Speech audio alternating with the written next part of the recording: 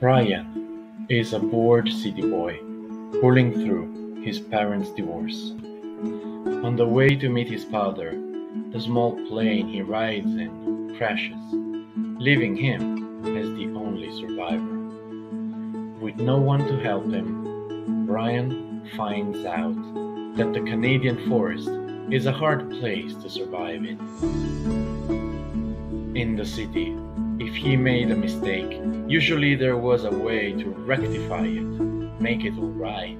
Now it was different, and also quick, all so incredibly quick. Alone, with only a hatchet, Brian has to recall all his knowledge and trust in his most primal and forgotten instincts. I have a friend, he thought. I have a friend now. A hungry friend, but a good one. I have a friend named Fire.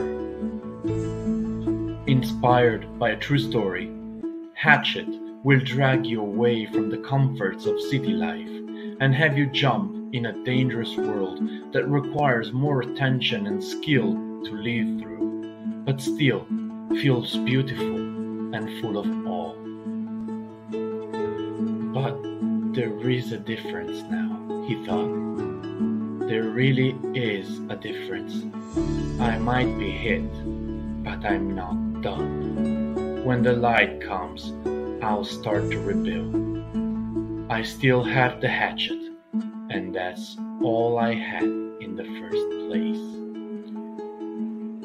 A story of courage, change, and growth. Hatchet by Gary Paulsen.